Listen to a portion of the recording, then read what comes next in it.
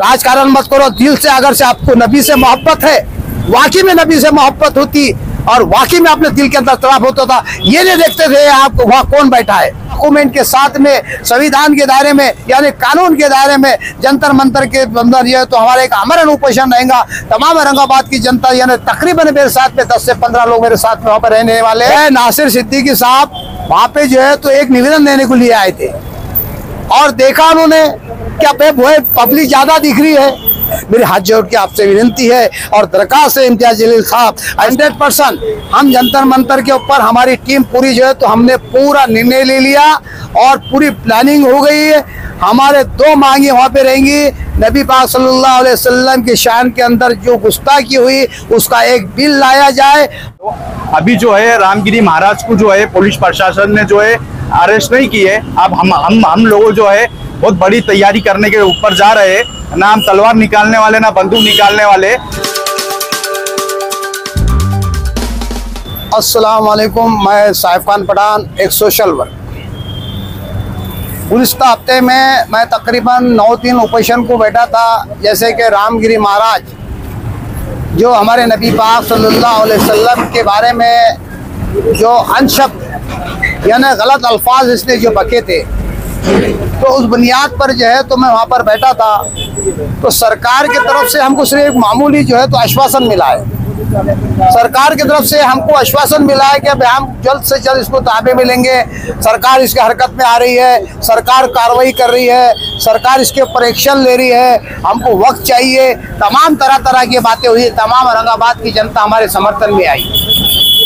अब हमारी जो मांग है जो हमारी जो मांग है, ये हमारी मांगे पूरी नहीं हो रही। तमाम जो है तो हिंदुस्तान के अंदर ऐसे राज के लोग, तमाम जो है तो हर यानी राज के पक्ष लोग, जो तमाम जो है तो तमाम लोग जो है तो तमाम जो है तो इसकी विटामिन कर रहे हैं और गलत गलत अल्फाज बोल के जो है तो अपना राजकारण कर रहे हैं। तो इस बुनियाद से हमने एक फैसला लिया है।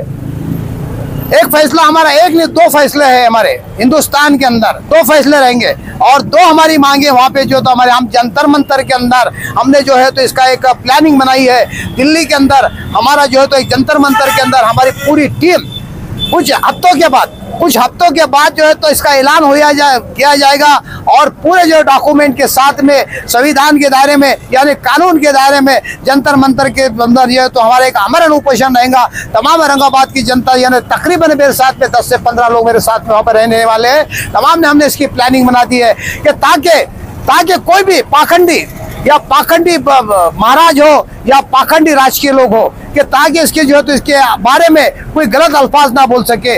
ये कानून को लेकर जो है तो हम ये बिल पास के लिए हमारी मांग रहेंगी कि अब हमारे नबी पाक सल्लल्लाहु अलैहि वसल्लम के बारे में जो आज अनशब्द बोलते हैं, हमारे धार्मिक, हमारी मस्जिदों के बारे में, हमारे भावनाओं को भड़काने का काम करते हैं तो आज एक हमारे नबी के बारे में हम जो है तो इसके हमारा जो मुद्दा रहेगा, वो नबी के इसमें बिल पास करने के लिए हमारा वहाँ पे उपवेशन होने जा रहा है। तमाम औरंगाबाद की जनता को, महाराष्ट्र की जनता को मैं ये ऐलान कर रहा हूँ। और दूसरा हमारा जो मांग रहेंगी, आज देख लो, हमारे बेटियाँ, हमारी लड़कियाँ, हमारी माँ बहन, तमाम समाज के लोग, ऐसा नहीं है कि मुस्लिम की, हर समाज की जो है तो आज उनके ऊपर जो तो बलात्कार जैसे जो हरकत हो रही है। और सरकार जो है तो इसके अंदर एक्शन में नहीं आती है। क्या मसला है? आज देख लो उन्नीस आज़ाद हिंदुस्तान से पहले जो तो हमारी बेटियाँ, हमारे माँ, बहन सुरक्षित थी, अंग्रेज़ों ने भी इतना जुल्म नहीं करे, यानी हमारे बेटियों के ऊपर। तो आज की सरकार के अंदर हमारे बेटियों के ऊपर इतना जुल्म हो रहा है। कितनी शर्म की बात है, चार साल की बच्ची के ऊपर, यानी चार साल के लेके तो साठ साल की, यानी बुढ़ी औरत के ऊपर भी जो बलात्कार होता है, और सरकार हरकत में नहीं आती है। सरकार नजरअंदाज करती है, सरकार और बलात्कारी को सपोर्ट करती है। आज मणिपुर के अंदर हालात देख लो आप, मणिपुर का एक जायजा ले लो। तो आज देख लो हिंदुस्तान के लोगों, मणिपुर का जायजा लो। अपने आप को सोचो, आँखों में आँसू आते हैं। आँखों में आँसू आते हैं। यानी हमारे दो बेटियों को जो है तो यहाँ से जो है तो नंगन घुमाया जाता है और राज के पक्ष लोग देखते हैं, सरकार देखती है और उसके ऊपर एक्शन नहीं लेती, उसको आज़ाद छोड़ दिया जाता है। ये हमारे साथ में अन्याय नहीं तो और क्या है? जो अन्याय हमारे जो है तो में, जो अंग्रेज़ों के दौर में नहीं हुआ है, आज के दौर में जो है तो यानी बीजेपी की सरकार के अंदर जो हमारे पर अन्याय हो रहा है। बेटी सुरक्षित नहीं है। हमारे बेटियाँ आज कॉलेज के अंदर जाती है तो बोलती, सोचती है कि मैं कब घर पहुंचूँगी। उसकी माँ कहती है कि मेरी बेटी कब घर पे आएगी। वो एक राह देखती बैठती है। उसका घर में काम में उसे चीत नहीं लगता है, लेकिन मेरी बेटी घर पर कब पहुँचती है? यह हालात हमारे हिंदुस्तान के हो गए। तमाम समाज के लोगों के अंदर यही माहौल पैदा होगा। अब हमारी बेटी कॉलेज में गई, हमारी बेटी जो है तो मार्केट में गई, अब हमारी बेटी कब आएँगी, कब नहीं, वो, वही जो है तो माँ अपनी बेटी के जो तो दरवाजे के अंदर रास्ता देखती है और जब बेटी नहीं आती है और उसका जब ऐलान होता है कि बेटी के साथ में बलात्कार करके उसको जो है तो अत्याचार किया गया और उसका मर्डर किया गया है तो सरकार एक्शन में नहीं आती। तो यही हमारी मांग को लेके हमारे ये दो बिल बिल हम पास करने के जा रहे हैं, जो हमारे नबी पाक वसल्लम की शान की गुस्ताखी करता है। उसके खिलाफ जो है तो आज हमारा जो कानून बने, उसके ऊपर जो है तो ऐसी सजा होना चाहिए, तकरीबन दो साल की कड़ी से कड़ी सजा हो और 10 लाख रुपए इसके अंदर दंड हो। और दूसरी अगर से जो बलात्कार है, जो बलात्कारी है, ये हमारी दूसरी मांग रहेंगी। इसको डायरेक्ट फांसी होने की सजा, इसको फांसी की सजा दिया जाए, ये हम मांग को लेके बैठने वाले हैं। आर एस यूनानी फार्मेसी। गुर्दे पित्ते में पथरी और दोबारा पथरी ना होने का किया जाता है मुकम्मल इलाज। बहादुरपुरा एक्स रोड रब्त करें nine three nine zero six one zero four three six पर। आने वाली तेईस तारीख को माजी ऐलान किया है कि बंगला चलो बोल के और सभी लोगों से अपील कर रहे हैं बंगलुरु है बोल क्या बोलेंगे देखो भाई भैया तो वो उनका क्या पता है? उनका क्या मसला है? उनके अंदर क्या राजकारण है? मुझे पता नहीं है। यहाँ तक कि हमको जो माहिती मिली है कोर्ट ने भी, हाई कोर्ट ने भी ऐलान कर दिया कि अभी हम उसको अभी अरेस्ट कर नहीं कर सकते। तो फिर जाने का कोई मकसद, सवाल ही नहीं पैदा होता। जब हाई कोर्ट ने कर दिया, सरकार ने कही थी, तमाम पुलिस वाले कहते, तमाम जो तो सरकार कहती हम उसको अभी अरेस्ट नहीं कर सकते। फिर मकसद क्या है जाने का वहाँ पे? कोई मकसद नहीं है। हमको कानून के दायरे में काम करना चाहिए। ये जुलूस निकालना, इसमें नुकसान जनता का ही होगा, पब्लिक का जनता हो, नुकसान होगा, पुलिस अरेस्ट करेगी, उनको तकलीफ़ पहुँचेगी, तमाम को बता नहीं सकते। कई उनके ऊपर एफ़ यानी वे का- कानून के इसी में शिकंजे में आएँगे। ये हमारा काम नहीं है। हमारा जो है तो संविधान ने हमको जो तरीका दिया है, उसके हिसाब से हम करना चाहिए ये जुलूस ले आके ये आंदोलन छेड़ के, इससे कोई फ़ायदा नहीं होने वाला है। कानून के कलम से कलम से आप काम करोगे तो इंशाल्लाह, आप बताओ, यहाँ पे मैं भूषण को बैठा था। उनका काम था वहाँ पे आने का। इम्तियाज़ जलील साहब का उपोषण में आने का काम था। और आप क्या है, मैं तो नबी के शान में गुस्ताखी करने वाले के जो है तो वहाँ पे उस केस में बैठा था। तो इम्तियाज़ जलील साहब ने वहाँ आना चाहिए था और बड़ी शक्ति प्रदर्शन बताना चाहिए था। सरकार हरकत में आ गई थी। सरकार बिल्कुल ये हो गई थी। और अन करीब हमको वहाँ पे इंसाफ मिलने का वक्त था। जब सिर्फ़ वहाँ नहीं पहुँचे तो वहाँ जाने की आपको ज़रूरत क्या है? कोई ज़रूरत नहीं है ना आपको। जब यहाँ नबी के यहाँ यहाँ कौन बैठा था? एक गुनेगार बंदा बैठा था। एक गुनेगार बंदा बैठा था। एक नाकारा बंदा बैठा था, जिसका कोई वजूद ही नहीं था। लेकिन बैठा था किसकी खातिर? किसके खातिर बैठा था? तमाम पक्ष के लोग वहाँ पे आए, तमाम पक्ष के लोग आए, तमाम औरंगाबाद की जनता आई, फिर आप क्यों नहीं आए? एमएन नासिर सिद्दीकी साहब वहाँ पे जो है तो एक निवेदन देने को लिए आए थे। और देखा उन्होंने क्या पब्लिक ज़्यादा दिख रही है, ज़्यादा वहाँ पे औरंगाबाद की जनता इनको ज़्यादा समर्थन कर रही है, पूरी औरंगाबाद की जनता इनके सपोर्ट में आ गई है।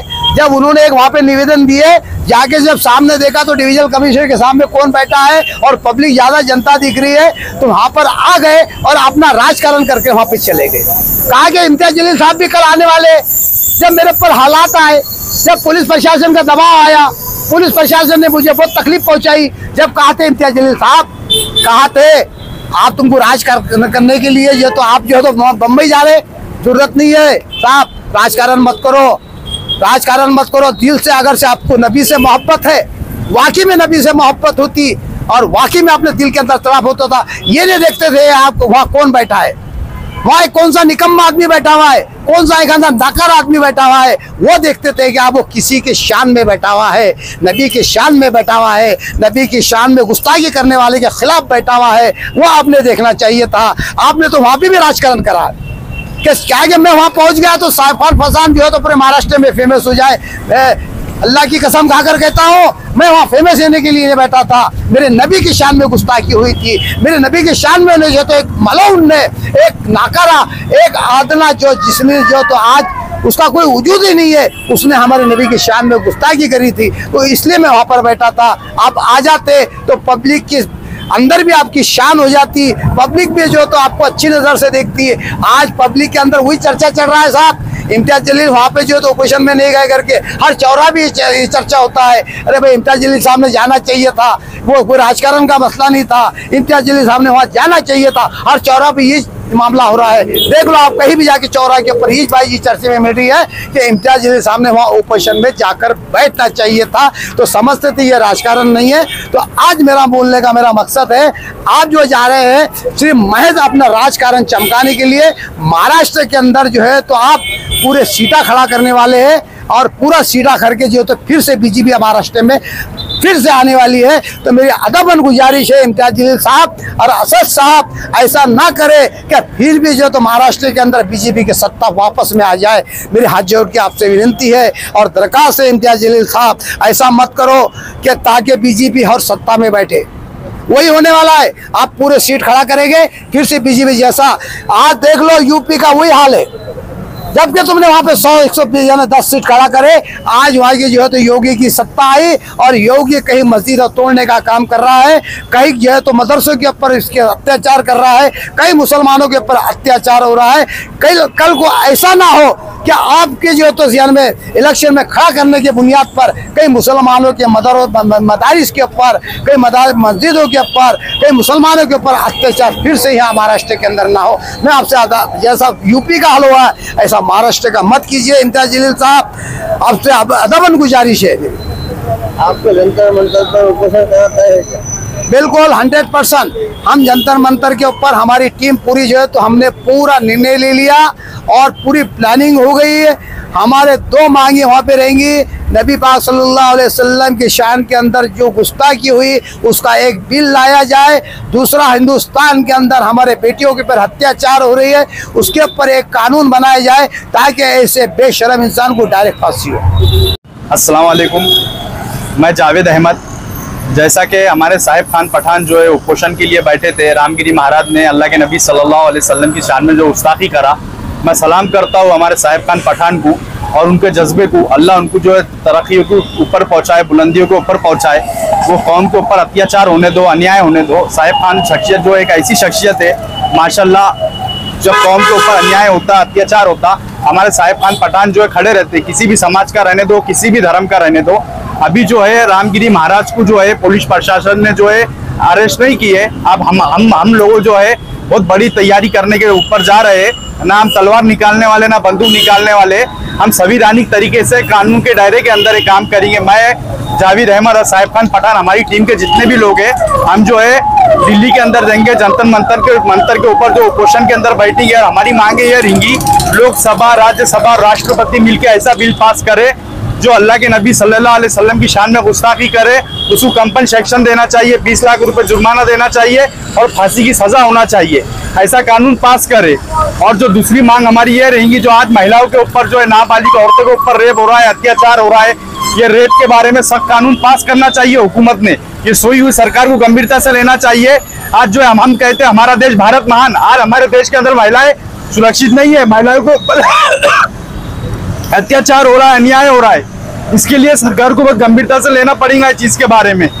रेप के बारे में पार्लियामेंट के अंदर ऐसा कानून पास करे, अगर कोई शख्स, कोई महिला के साथ रेप करे तो उसका प्राइवेट पार्ट काट कर उसको गधे के ऊपर बिठाकर पूरे महल्ले में घुमाई, घुमाया जाए, ताकि दूसरे शख्स को देखकर, दूसरे लोगों को देखकर इबरत मिले, किसी औरत के साथ जो है गलत काम ना करे, रेप ना करे। बस मेरा ये कहना था, जय हिंद, अल्लाह हाफिज।